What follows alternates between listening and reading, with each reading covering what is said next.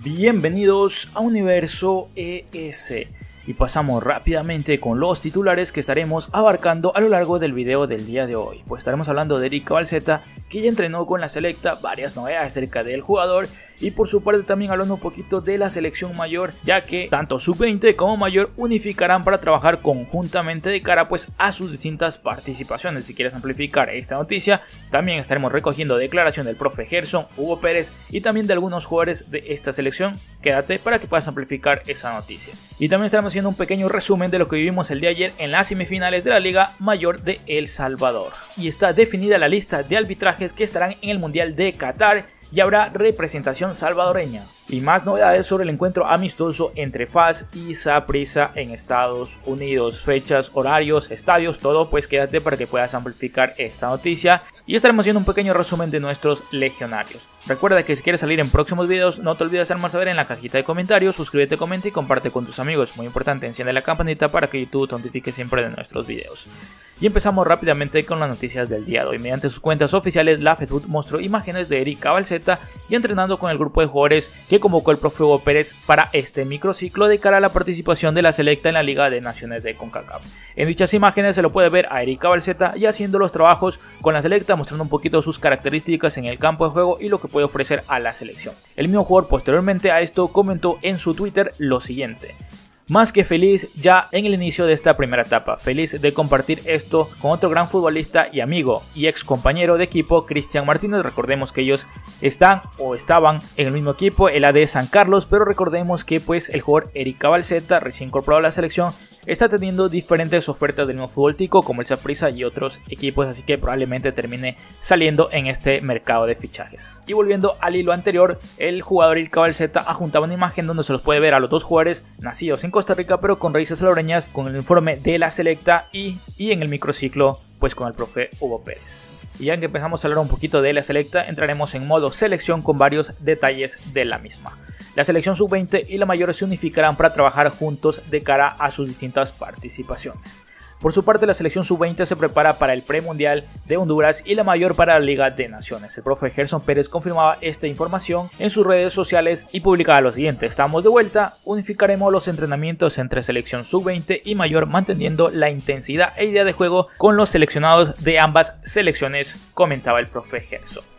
Acá le estaremos trayendo declaraciones tanto de jugadores como el caso de Isaac Esquivel, que habló un poquito del tiempo que lleva la selección sub-20 sin clasificar a un mundial y que pues bueno, ellos confían en sus condiciones en la selección y que esperan conseguir dicho boleto. También declaración del profe Gerson y del profe Hugo Pérez respectivamente los trabajos que están teniendo con sus diferentes categorías. Acá las declaraciones.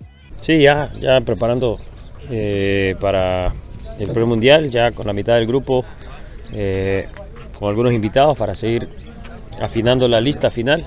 Creo que ya entre la otra semana y en dos semanas ya se viene todo el grupo. Entonces ya preparar un poco lo que queremos, pero ahorita más que todo más ritmo, eh, con la mayor, buen examen para ellos, porque importante que ellos estén viendo qué es eso de trabajar con la mayor, los que no han trabajado y siempre la posibilidad de, los partidos de la mayor, que si anda bien uno, que suba y que juegue el ánimo de los jugadores cómo está? ¿Ya se tiene también eh, analizado los rivales? Sí, eso pues ya que está el grupo se hace más en detalle. Ahorita como no está todo el grupo no, no estamos enfocados tanto en el rival, más nosotros.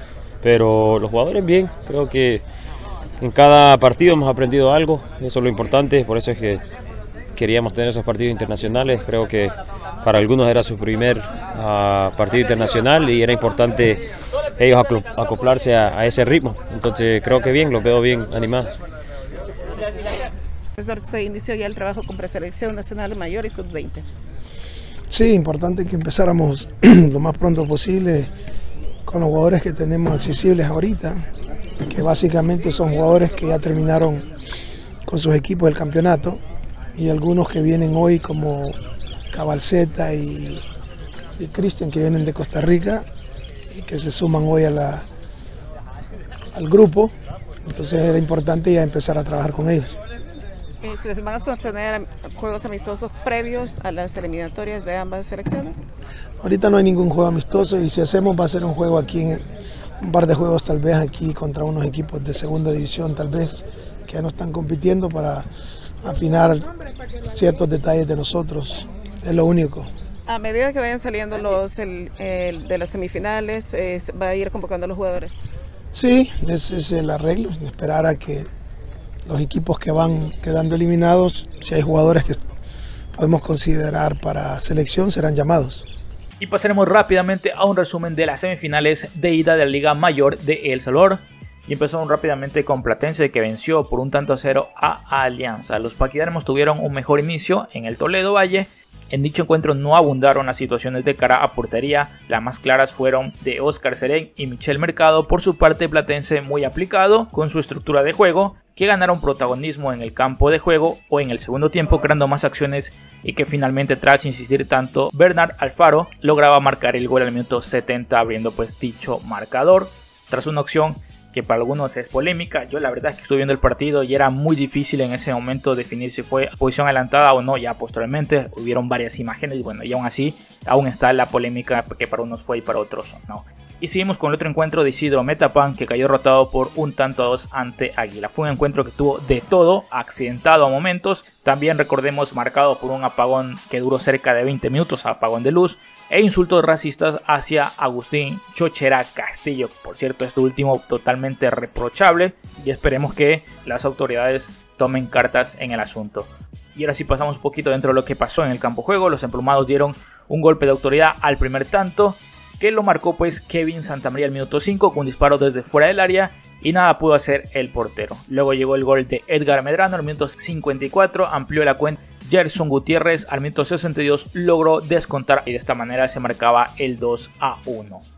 FIFA definió el tema de arbitrajes para el Mundial. La Comisión de Árbitros de FIFA inició este miércoles su reunión para decidir cuántas plazas habrá para árbitros, asistentes, reservas y el VAR.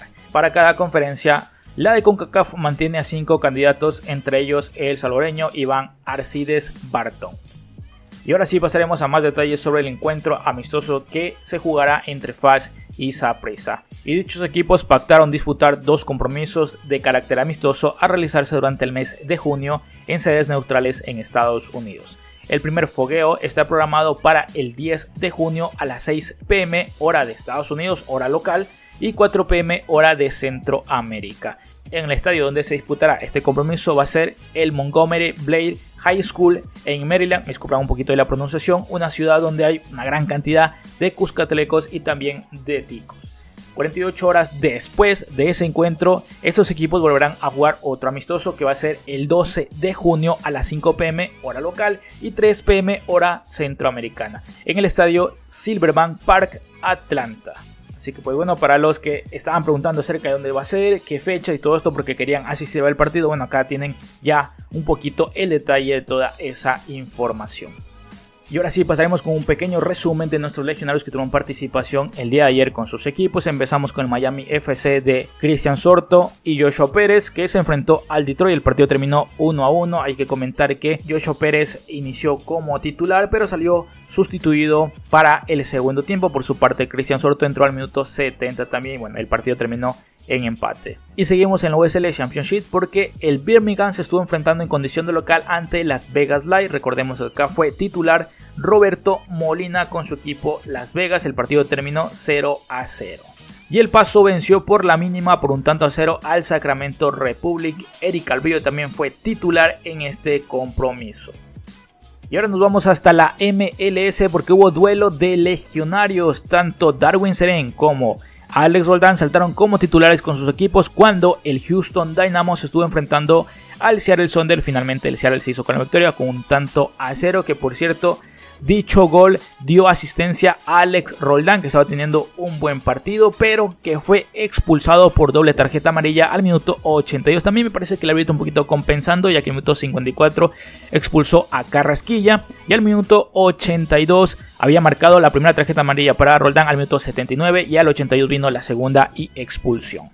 Y ahora sí pasaremos rápidamente a los saluditos. Henry Menjivar, Mr. Barak también nos comenta, Alex C la prensa SV que nos pone apoyando tu canal. Tienes muy buena información. Gracias hermanito y también por estar comentando y pendiente de los videos. Y también un saludo para Gerson FT que nos comenta, bueno, que un saludito y salir en el próximo video. Y ahora sí, sin más, yo me despido. Chao, chao.